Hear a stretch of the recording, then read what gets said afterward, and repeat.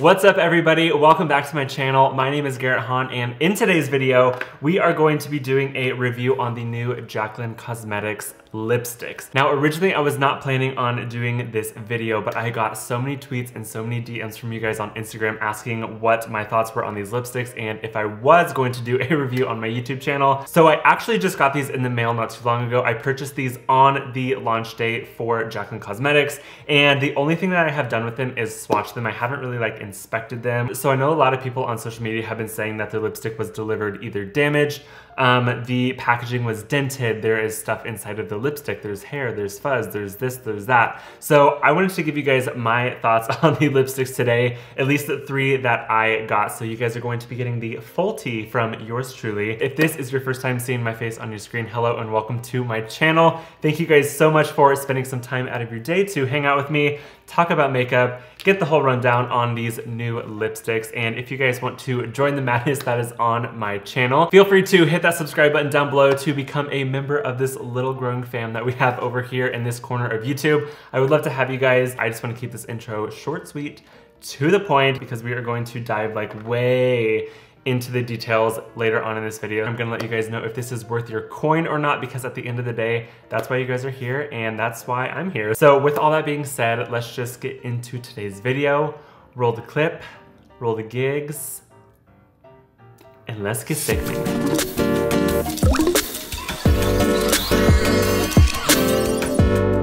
So I just pulled up jaclyncosmetics.com. That way we can see what the whole rundown is on the website because as you guys know, Jaclyn Cosmetics is a new brand. It is not sold in any retail stores, so it's not in Ulta, Sephora, or I don't even believe it's on any other website besides Jaclyn Cosmetics. I could be wrong. That being said, you can't go into store, you can't touch it, you can't feel it, you can't swatch it, you can't play with it really all you get is the face value on her website. And to my knowledge, I didn't see any PR kits being um, pushed through the week of her launch. The only video that I personally saw before the actual launch date was Jaclyn's. So the only person that you got to see talking about this product was her, the owner of this brand. That obviously is a little bit biased because of course it is her brand. She obviously loves her formula, of course, because if she didn't love it, she wouldn't be releasing it. She only has one product right now. She has a lipstick that has 20 shades, which is amazing, all in which are nude. The description on the website says, cream meets shine with this rich pout perfecting lipstick that's filled with buttery goodness. Each swipe of this luxe formula will leave your lips feeling like a million bucks. Well, girl, if my lips don't feel like a million bucks. Right next to the description, you get the ingredients. And the ingredients are also listed on the side of the unicartons. Other than that, you just get like the lipstick here. You get all of the shades listed down below. I believe right now every shade is sold out, so that's great. Um, and then you get like about Jaclyn and then this, that, and the other on the other part of the website. This is the first thing that you are going to see when you pull these out of your box when you buy them. So this unicarton obviously has four sides to it. Um, I think that this is really cute actually. I think it's really sleek, very modern looking, and I love how there is texture to it. I know a lot of unicartons, I don't have any with me right now, but most of them are just flat, there's no texture to it. The front part of it obviously says Jaclyn Cosmetics. This is embossed. Real quick, I thought that this was Jaclyn Hill Cosmetics, but then I got this in the mail and it said Jaclyn Cosmetics, and I got kind of confused because I don't know if it was like a rebranding thing or what the deal is with that because this says Jaclyn Cosmetics and then on the front of this it says JH. I know obviously those are her initials, but I was under the assumption that the brand was gonna be called Jaclyn Hill Cosmetics and if I'm not mistaken, I feel like that's how it was first announced to everybody. I know her brand was like a thought and an idea like a very long time ago and it's just now coming out like we're talking like maybe four or five years ago. Don't quote me on the time, but I am almost wondering if these components were made at an earlier date and then fast forward to today, obviously she's branding it as Jaclyn Cosmetics. Anyways, that is completely beyond the point because we were talking about this, but that is just something that I noticed between the two. On the front, you get Jaclyn Cosmetics, so you kind of get like the whole gig right here. And then as you flip it over, you have the ingredient side. You kind of have more about the distributor, the address, all that stuff, barcode. And on the other side, you get the description that I read off of the website. So that is also on the Unicarton as well. And then on the very top, you the shade names. Of course, the Unicarton matters, but at the end of the day, this is what's going in the trash. And this is what you are going to have to see every day should you choose to use this every day. I ended up getting three shades. I have Amazeballs, That Girl, and As If. I was supposed to get Obsessed, but it was really weird how the checkout process happens. When I went to checkout, I had all four shades in my cart. I had Amazeballs, That Girl, As If, and Obsessed. I was really excited to get Obsessed because that was probably my favorite shade out of all 20. So that was locked and loaded in my cart. I went to go check out and then it put me in a waiting queue, which is nothing new to me because that has happened to me before when I do shop with other retailers, especially on big launch dates. I know that traffic on websites can get crazy and having a queue is necessary to kind of keep things in line and keep things orderly. The only thing that was really weird to me is I had all four in my cart and typically like when you are shopping online, whether it's like clothes, makeup, shoes, hats, I don't know. Normally when you have it in your cart, it's yours. So when you go to checkout, you know it's there, you know it's going to be yours and you can make that purchase. I guess for Jaclyn Cosmetics, that's not the case. But when it was like my turn to check out, um, I got notified that one of the items in my cart was sold out and no longer available for purchase. I was kind of disappointed that I didn't get all four shades, especially since Obsessed was probably my favorite out of the lineup. So I felt like three was a good place to start, especially with a new brand because you don't know the formula. Again, you haven't been able to swatch it, feel it, play with it any of that stuff. So I am happy I got three. They have bundles on their website, I believe, where you can buy three at a slightly discounted price. And then you can obviously buy the whole entire bundle, which is around like $300, I wanna say, with shipping, tax, and all that stuff included. So next moving on to the actual component itself. I am not the Mm, I'm not the biggest fan of it. I don't know if you guys have ever been put in this situation before, but have you ever met somebody in person that you have seen on Instagram and they look nothing like their pictures?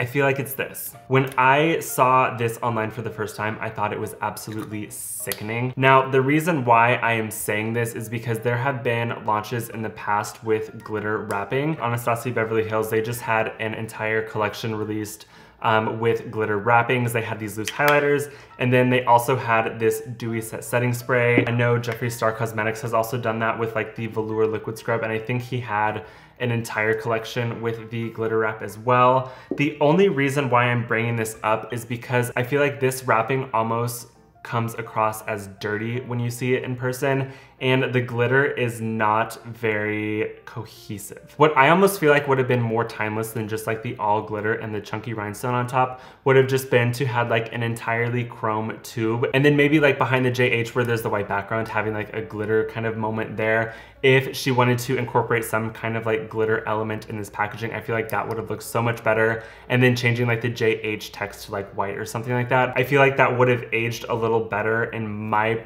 opinion than um, this. I will say that this component is heavy. It feels nice. It feels like you did spend like $18 on this. I'm not sure what the product inside says about um, the price point, but from what I can say, I feel like the actual weight of this is very nice. And then last but not least, on the top, we have this like kind of like jewel right here. I I don't know. I mean, do you guys remember like buckle jeans from like years and years and years ago? where like everybody was walking around with like those huge jewels on their ass. It almost reminds me of like one of the jewels was like picked off of that and like put on top. I feel like maybe I would have liked the jewel a little bit better if it wasn't just straight up clear and maybe it had some like different um, color reflex to it like typical jewels I guess have. I'm not trying to like come off as like a hater because totally not my vibe. I just have like different tastes and different like things that I like than other people. Some people might love this and some people might not. Everybody has their own taste and that's fine. What matters at the end of the day is the product inside. I'm gonna do swatches of all three of these and then I'm also going to put all three on my lips as well. That way you guys can see uh, what they look like on me. The only kind of issue I had with the actual product itself being damaged was on the back of that girl, there's kind of like a dent in the back. I'm not sure what's up with that. But honestly, like to me, it doesn't really matter that much. It's just like a tiny little dent. It's not like you opened it up and like the whole thing was like severed in half or like it was melted or anything like that. So I don't really mind that. Um, the only thing though that I did, what is that? Oh, it's on this one too? I don't really know what's going on, but there, it, the lipstick seems very gritty and there's almost like these black dots inside. Yeah, and it's on every single one. So I don't know if you guys can like see like the black dots that I'm talking about, but like right off the bat, like that is not very appealing to look at especially if this is like going on your lips by your mouth. And I do see a little bit of fuzz that people were talking about on Twitter. It's nothing like crazy. Like I know some people's had like hair just like stuck to the tip. Um, I don't have anything like that per se, but I do have like little hairy things on them, which also is kind of weird. Anyways, let's swatch them. First one that I'm going to swatch is As If, and this one is described to be more of like a fawn nude. So as you can see right there, the actual swatch of it is pretty good. Um, it does have to be built up a little bit, but with cream lipsticks, that's nothing like really, I mean, we all know with cream lipsticks, you have to like build them up. Oh, wow, okay. What are these black dots? Ugh. The next shade we're going to try is Amazeballs, and this is more of kind of like a peachier color. I really like kind of like peachy pink lipstick, so this one I was really excited about. That one is right here, and that one's really pretty. The last one that I have is That Girl, and this one is going to be more of like a peachy color. So this one is going to go right here next to Amazeballs, and yeah, that one is really gorgeous. Oh, she's pretty, she's stunning. These are what all three of these swatches look like right next to each other. I know with lipstick specifically, a lot of people are very sensitive to smell. Now, Jaclyn in her video said that she created a custom scent with these lipsticks. No, ma'am.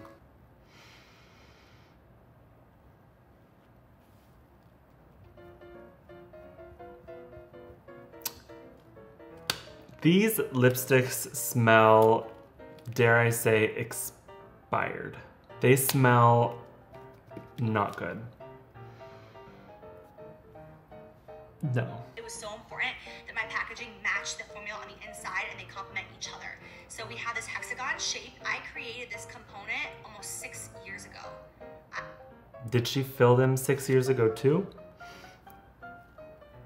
Mm -mm. What are they? Okay, what does she say they're supposed to smell?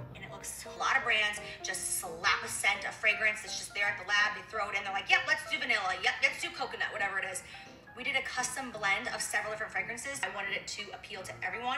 It does smell sweet, but it's not too sweet. It honestly just smells like buttery, vanilla, kind of just yummy. Based on the smell, unless custom blend is like a very unique blend that doesn't sit well with me. Um, these smell expired. I am very anal about throwing my makeup out at least every year because makeup can expire, makeup can grow funky stuff, and especially with lip products, I do not want to be putting expired products on my lips because that can be very dangerous, especially if it is growing something. Now, I'm gonna give this the benefit of the doubt and say that it is not expired, but it just it just smells so not appealing to me.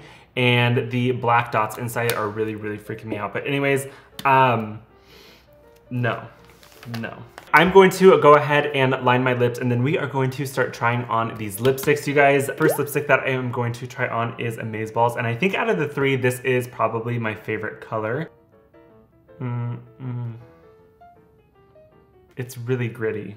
It is not so rich, not so buttery, not so creamy. Um, I'm almost wondering if that's what the black dots are, but it is not really blended. Oh no, that's really gritty. We're just gonna keep, keep trucking.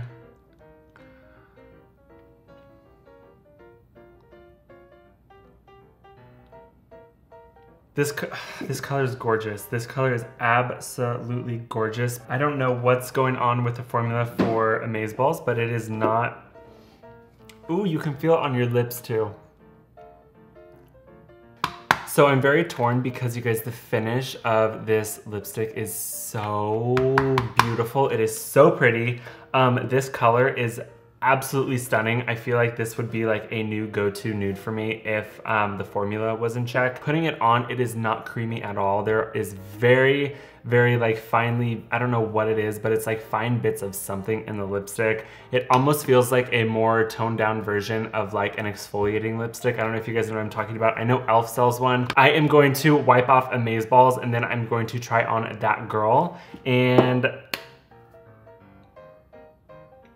let's continue.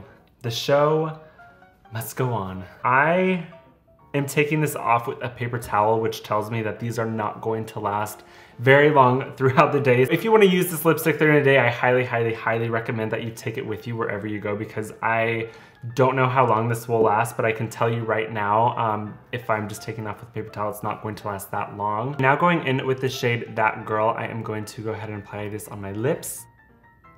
This shade, you guys, stunning. The finish is so pretty though. This is the shade That Girl on the lips, you guys. I am feeling like that bitch in this shade. This color is so stunning. Something that I'm noticing about the formula of That Girl, I know this is like pretty much all the same formula, but That Girl, for whatever reason, when I swatch it, it almost looks like it's like melting. The other ones look more like sturdy. They look more kind of like solid. I don't know, I know it's a cream lipstick, so I don't wanna like think too much into it because at the end of the day, these are, these are just lipsticks. It's not that deep. Similar to Amazeballs, I am noticing a texture inside of the actual bullet itself. So when you're applying it, you can definitely feel it. Um, that is not something that I'm used to when I am applying some cream products. So I don't really know what that means because I'm not a chemist. I don't go to the lab. I don't make makeup. I don't know what's happening. I don't know if maybe these are expired lipsticks. I don't know if the formula wasn't mixed up the way it should. I'm going to wipe this off and apply as if. This is the last shade that I have. So we are going to see how this one performs. This one as you can see, um, stained my lips quite a bit. I don't really care about that, but if you guys don't like staining on your lips, um, that girl did that. And last but not least, I am going to try the shade As If and see what that looks like.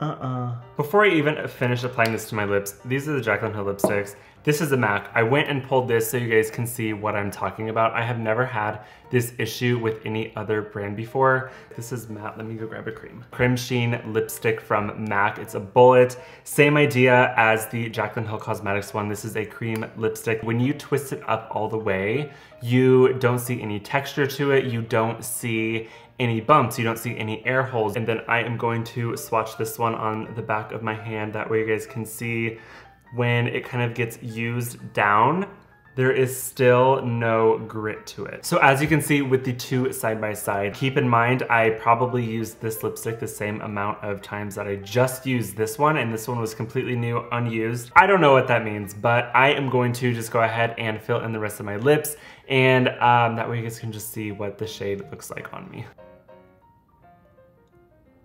This one does not want to stay on.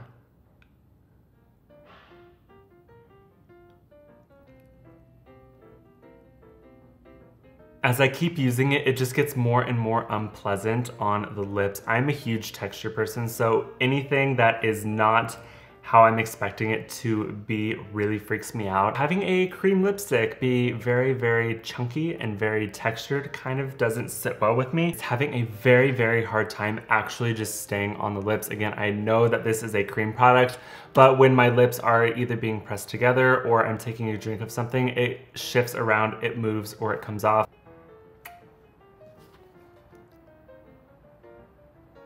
Comes off. It's not there anymore. She's clocked out, she's done working for the day. She can't be bothered. You guys, these lipsticks are staining my mouth like really, really bad. Okay, so I feel like I'm getting like way too into this, but I am genuinely curious like what is inside of this lipstick. So I am going to cut it open. I'm here with Jake. He is going to do the honors of cutting it open. I have like this little palette knife right here. So we're gonna do that, smush it down.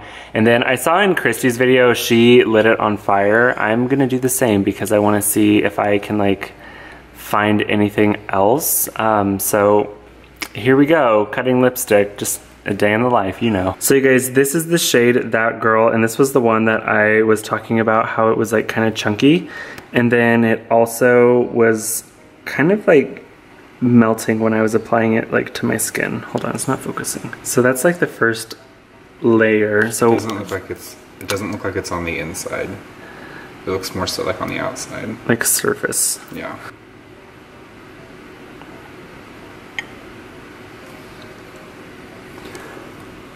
Like when we were squishing this down with our fingers, like when I tell you guys, it felt like I was just kind of like smearing like a paste with kind of like sand in it. I'm hoping you guys can see this, but this is the grit that I was talking about. So when you put it on your lips, obviously that skin is a little bit more sensitive than the other areas of your face. So you're definitely gonna feel like more texture if there is texture like in a lipstick per se. So when we were smushing this down with our fingers, like you guys can see all the little granules in there. And then that really long streak was caused by like that little ball right there. So you guys can see it's a pretty thick streak anyway. So we're gonna light this bitch on fire and see what happens because science. You can see the bead right there. Oh yeah. Oh God. can see it without like a camera or anything. So you guys can see like right there that giant ball that I was talking about. That's just really gross. That's something that I don't want in my lipstick, I'll say that much. So I switched over to my iPhone because I feel like you can see it more, but like, you're kind of like, go back and forth with it. You guys can see like all of the grit once you like smooth it out. Light it up. Down, down, down, down, down, down, down. Oh yeah, you can actually start to see like a lot of the grit. Oh I don't know what that is. I don't know what causes that. I am not a chemist. I am not a scientist. But what I do know is that on my lips, no. Is it a lipstick or a lip scrub? Gear Nye the science guy. Gear Nye the science guy. Gear, gear, gear, gear, gear. So just to finish this outro, I went ahead and I applied that girl to my lips again. And lo and behold, I found some more friends inside the bullet. And I just want this video to be done because I feel like I'm just like not enjoying my experience with these. This is not the experience I was wanting to have. And quite honestly, this isn't the experience that I was paying to have. I am completely disappointed with my experience with these products today.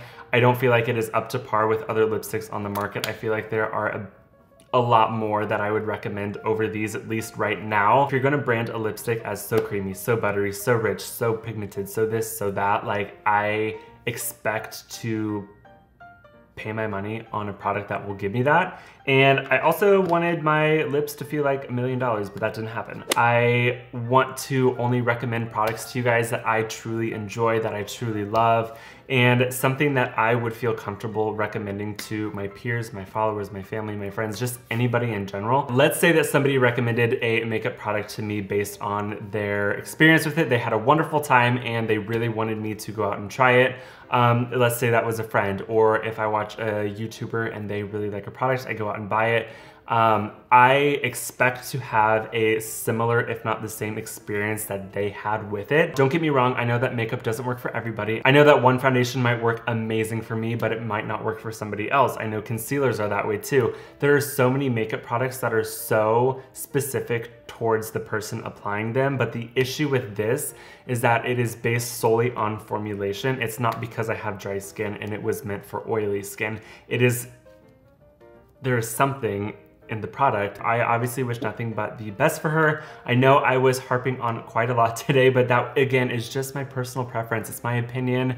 And you know, you guys obviously need to formulate your own opinion and you can't do that until you try the product. Anyways, that is it for today's video. Thank you guys so much for spending some time out of your day today to hang out with me, talk about makeup and see what the tea is on the new Jaclyn Cosmetics lipsticks. If you guys want to subscribe for more videos and just be a part of this growing fam that's here on YouTube, feel free to click that subscribe button down below. And if you guys wanna follow me around on my other social media, you can follow me on Twitter and Instagram. My username is at OMG It's OMGIt'sGare. I hope you guys are having a wonderful day and I will be seeing all of you in my next video. Bye guys.